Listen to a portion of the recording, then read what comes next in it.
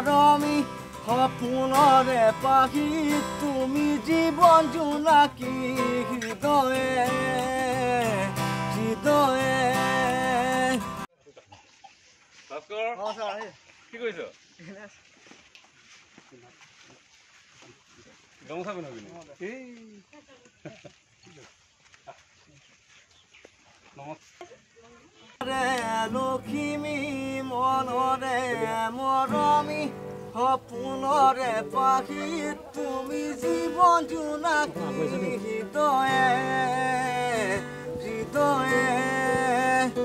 মায়া মায়া মনৰ আশা মিঠা মিঠা প্ৰাণৰ ভাষা লাজৰে উৰণি গুচাই দিয়া।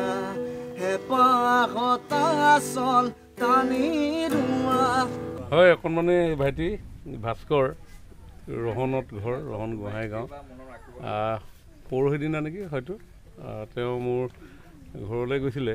বহু ৰাইজৰ লগত কথা বতৰা পাতি আছোঁ। তেতিয়া দেখিছোঁ মই এটা ল'ৰা এটাই কওঁ নকওঁ কওঁ নকওঁকৈ মোৰ ওচৰলৈ আগবাঢ়ি গৈ কৈছে যে মই গান খুব ভাল পাওঁ গান শিকিব বিচাৰিছোঁ কিন্তু এইখিনি কৰিবলৈ হ'লে মোক গীটাৰ এখন লাগে। ময়ো গান ভাল পাওঁ সেইকাৰণে মই ক'লোঁ খুব ব্যস্ততাৰ মাজত আছিলোঁ। বোলো গান দুটামান গোৱা। তেওঁ গান দুটামান গালে ভাল লাগিলে। তেওঁ ক'লে এখন গীটাৰ লাগে। আজি সেইকাৰণে মই আমাৰ উৎপল গগৈ এগৰাকী জ্যেষ্ঠ অসমৰ প্ৰতিষ্ঠিত গীটাৰিষ্ট। তেখেতক মই ক'লোঁ এখন ভাল সুন্দৰ গীটাৰ এখন দিয়ক। ভাইটিক দিব লাগে আৰু তেওঁ নিজেও খুব আগ্ৰহ প্ৰকাশ কৰিলে আৰু তেওঁ মোৰ লগতে আহিলে। আৰু সেইকাৰণে আজি তেখেতৰ হাততে মই গতাইছোঁ যাতে সেই গীটাৰৰ শিক্ষা উৎপল গগৈ ওচৰত তেওঁ লৈ এজন ভাল ভৱিষ্যতে ভাল এজন শিল্পী যাতে হয়। বহুত বহুত আচলতে লোক আচলতে সাহাৰ্য বিচাৰি যায় আপোনাৰ ঘৰলৈ যিহেতু আপুনি তিনিখনৰ বিধায়ক বা মন্ত্ৰী। ভাস্কৰৰ ক্ষেত্ৰত একদম তাৎক্ষণিক পদক্ষেপ। নাই তাৎক্ষণিক বুলি নহয় নহয় মই তাৎক্ষণিক পদক্ষেপ মানে বুলি কথা নাই। যেতিয়া সুযোগ সুবিধা হয় গীটাৰখন এতিয়া সেইদিনাখন গৈছে মোৰ হাতততো নাছিল। গতিকে সেইখন যোগাৰ কৰোঁতেও এটা দুটা দিন সময় লাগে।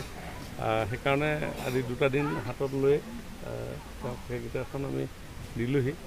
মই ভাবোঁ যে তেওঁ ভৱিষ্যতে এগৰাকী ভাল শিল্পী হ'ব পাৰিব এতিয়া এই ছাৰৰ লগত তুমি শিকি ল'ব লাগিব হয় নাই তুমি ভালকৈ শিকিলেহে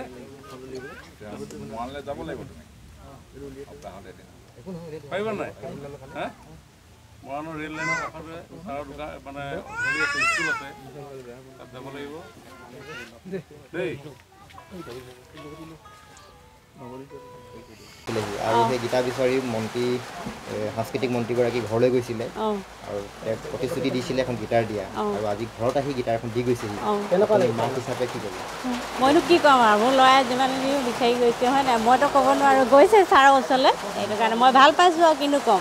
আৰু দেউতাক মানে সৰুতে নাইকিয়া হ'ল যে মইনো কি কৰিম হয় নাই? মই সেইকাৰণে একো কৰিব নোৱাৰোঁ। অভাৱতে চলিছোঁ আৰু। শিক্ষাটো অকণমান কম হ'লে আপোনালোকে সহায় সহযোগ কৰিব চবে আপোনাক এ, কৈছিলে নেকি গীটাৰ এখন লাগে বুলি কেতিয়াবা? কয় ল'বলৈ ইচ্ছা যায় গান গাবলৈ চবকে গোৱা দেখি না সেইটো কাৰণে গাবলৈ মন যায় গাবলৈ মন যায় আনি দিবৰ কাৰণে অসুবিধা? অঁ আনি দিবলৈ কাৰণে অকণমান মইনো ক'ত ককায়েকেও মানে সৰু হৈ থাকোঁতে সৰু হৈ আছিলে এও সৰু হৈ আছে সেইটো কাৰণে। মই কাহানী গ'ল কি কথা ক'ব নোৱাৰোঁ ছাৰ সেইদিনাখনি মানে ফোনত মানে পাই পেলাইহে তেতিয়াহে কৈছে মানে ছাৰ আহিব এনেকৈ খবৰ দিব বুলি ভাল লাগিছে? অঁ ভাল লাগিছে সেইকাৰণে। ছাৰক মোৰ ঘৰলৈ যে ইমান ডাঙৰ মানুহ এজন আহিব বুলি মই ভবা নাছিলোঁ মানে সেইকাৰণে আজিহে গম পাইছোঁ মানে চিনাকি হৈছে। আপোনালোকে তাকে কৈছোঁ সহায় সহযোগ কৰিব আপোনালোকে আমি দুখীয়া মানুহ কিনো ক'ব? এতিয়া ল'ৰাই বিচাৰি গৈছে মইতো হেৰি কৰা নাই।